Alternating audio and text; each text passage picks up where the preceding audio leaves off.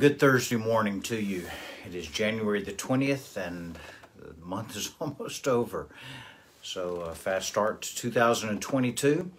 Um, we had a good night's rest last night. I hope you did. Had a incredible time last night um, with our men's group and especially the small group that I'm a part of. Um, man, just a rich time. We're seeing the Lord grow us in relationship and uh, boy, it's just a good time. I understand the ladies had a good night last night in the book of James together, and students had a good night, choir, and the kids rehearsing, uh, getting ready for this Sunday morning in our next generation service. Really excited about this service, and as we celebrate what God has done here at First Conyers in making us uh, a multi generational church. And um, it's just good to see the body of Christ reflect his heart in that uh, this morning, just one particular prayer request I want to bring before you. There are a number of them, but for the sake of time, I'm just going to mention one that we have been praying for over a year now. Um, pray for the Petruska family. Uh, Constantine, as you know, has been battling cancer, and uh, just not not good reports this week. And so the doctors are, are really kind of at a, at a loss as what to do next. But their their faith is grounded in the Lord and uh, God has the final word in this, right? Um, so their hearts are where they're going to trust God and, and praise Him regardless. And so be praying for the Petruskas. Uh, just that God's grace and His mercies continue to pray for healing uh, and ultimately God's will to be done in their lives. So this morning we're going to be looking at one of my favorite passages, and probably many of you, it's your favorite passage as well. It's John chapter 15 where as Jesus is leaving from that location where he had the Last Supper with his disciples and he's on his way to the garden, um, he has this discourse that John covers in chapters 15 to 17. And this particular one, the vine and the branches, we're going to look at this morning. And, and I wish we had time to exhaust it thoroughly, but, but we really don't. But there's a song that came to my heart this morning, um, and Leah, particularly for y'all think, um, maybe as I was praying for y'all this morning. But it's an old hymn called He Leadeth Me, and it's not one that I'm real familiar with with playing, so you may have to bear with me. But I think everybody's familiar with it. He leadeth me, oh blessed thought, oh words with heavenly comfort from. Whatever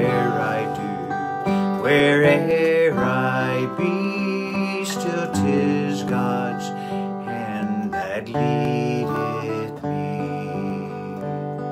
Amid season of deepest gloom, some's where Eden's bowers bloom. My water still, oh troubled hand that leadeth me.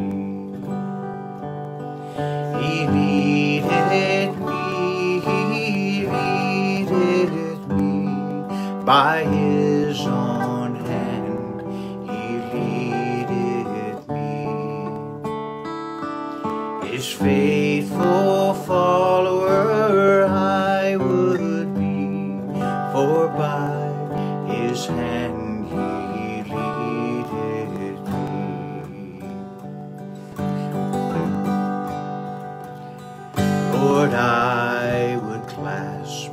thy hand in mine, nor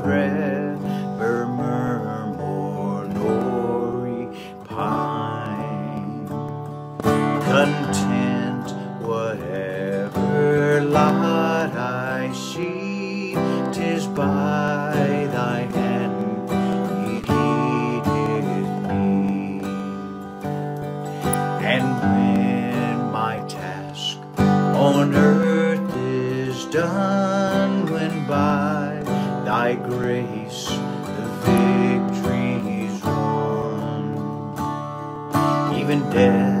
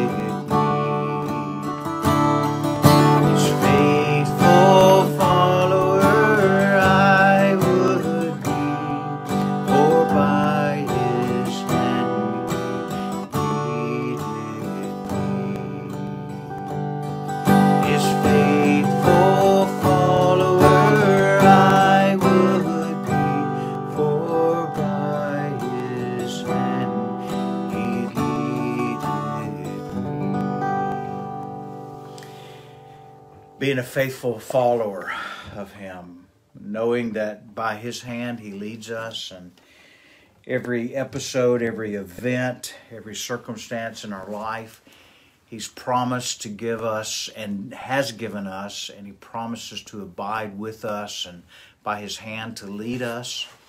And by the comfort of the Holy Spirit, as the Holy Spirit guides and we walk in the Spirit of God, we can trust Him with whatever it is that um, that God uh, has in our life. He's leading us. Verse uh, verse one of chapter fifteen, Jesus begins by speaking of him being the true vine.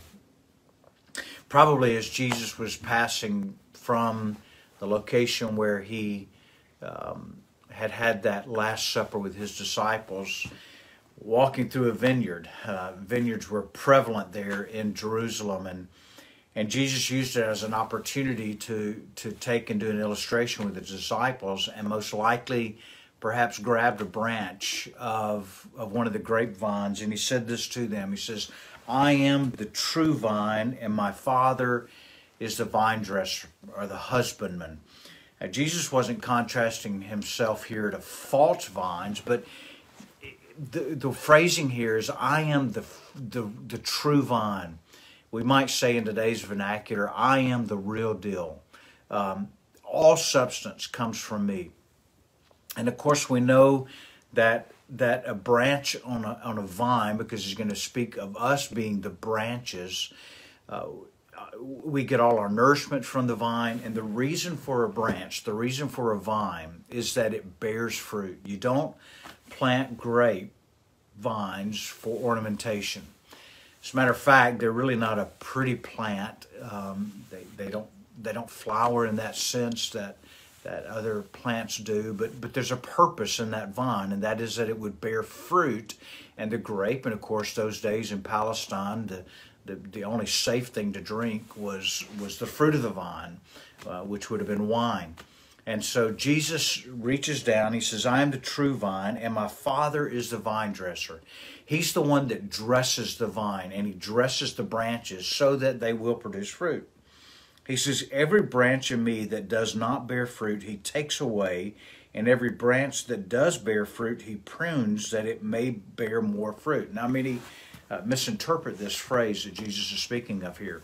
It has nothing to do with uh, what some would say is that, that there's a possibility that we can lose our salvation. Uh, that is that just does not bear out with the rest of Scripture. I hold to without any reservation that once one is truly saved, regenerated, they are born again, they're saved and saved for all of eternity. But there are many who, and we saw even in Jesus' day, there were many that followed along with him, but that really did not place their trust in him. They were tag-alongs, if you will. And we have many in the church today that are just kind of tag-alongs. They're maybe they're trying to have some morality in their lives, and so they think church, going to church, will bring a good morality in their life. Maybe they have other motives for being in the church. Maybe it's to their advantage, etc. But they're not true believers. And there's a distinction between a true believer and one who is just a pretender, if you will.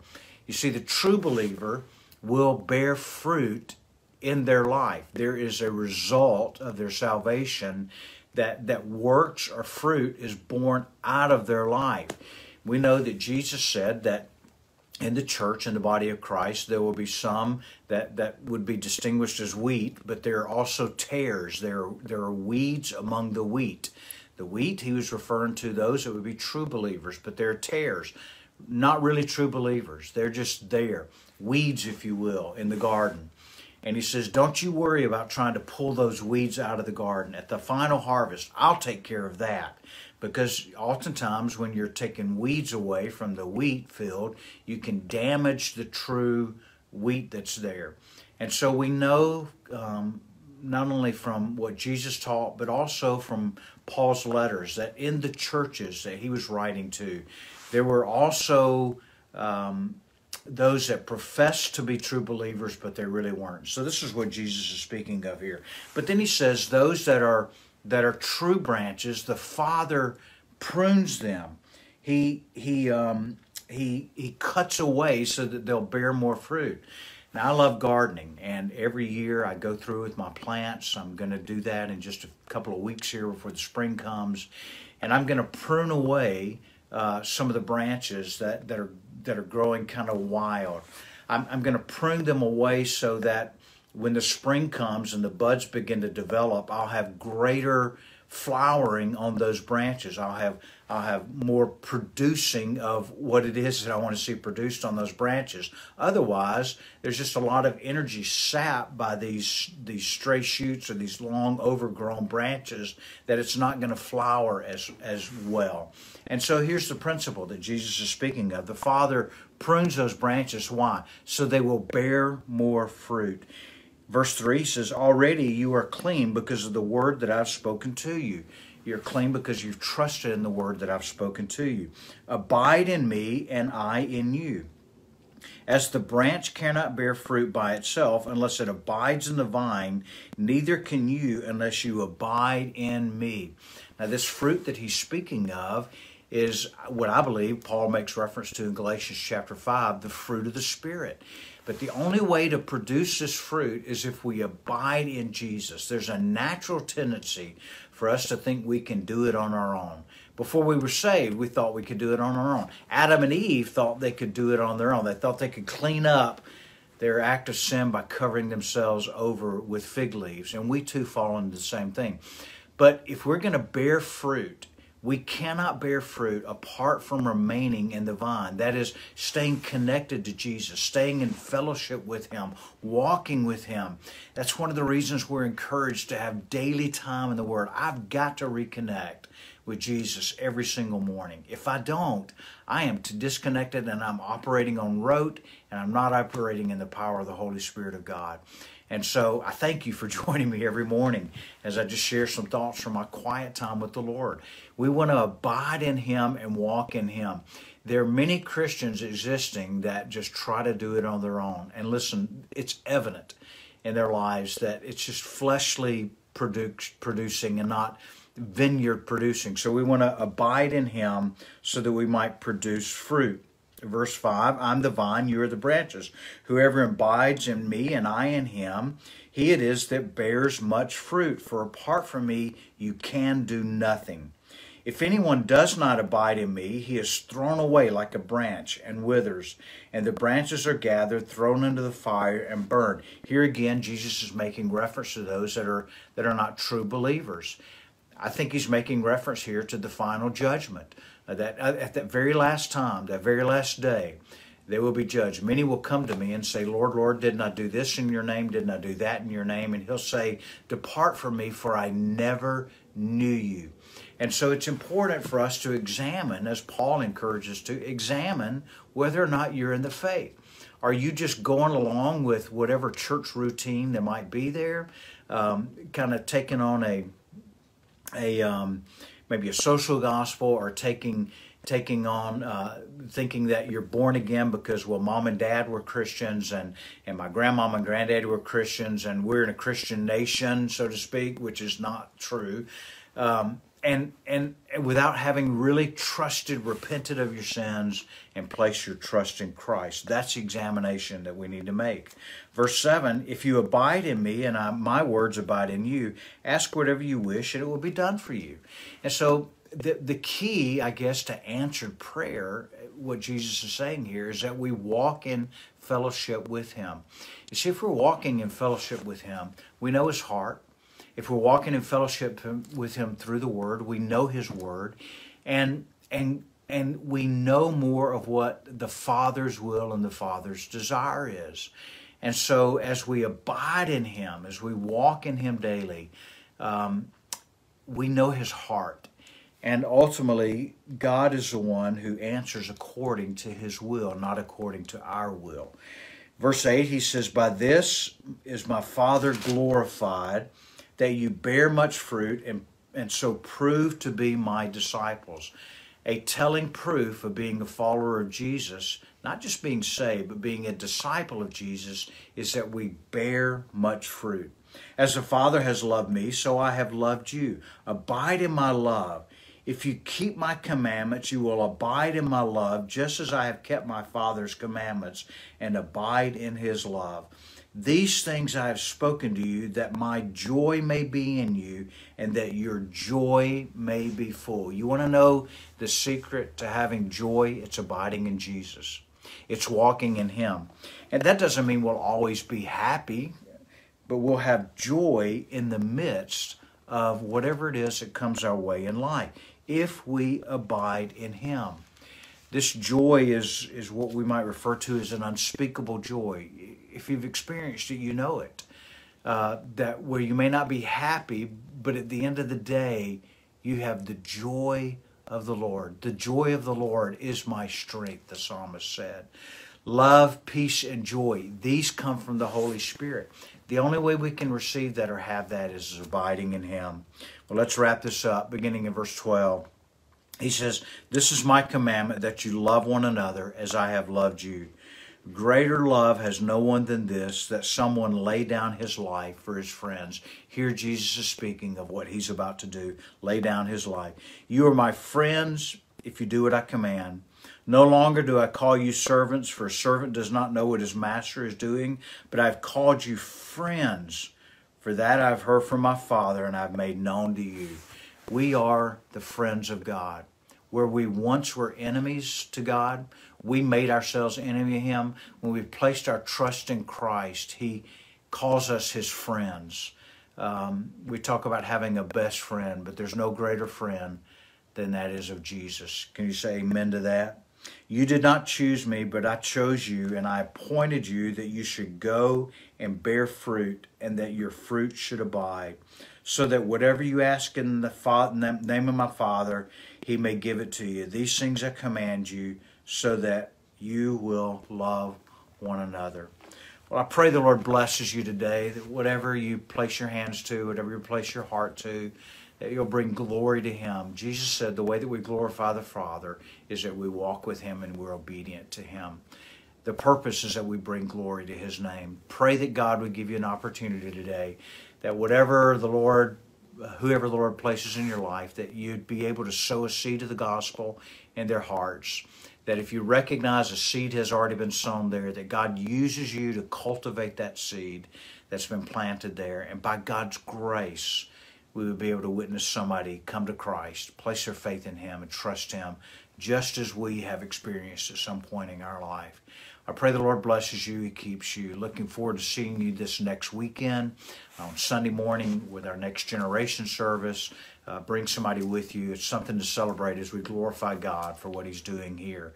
Um, continue to pray for the Petruska family.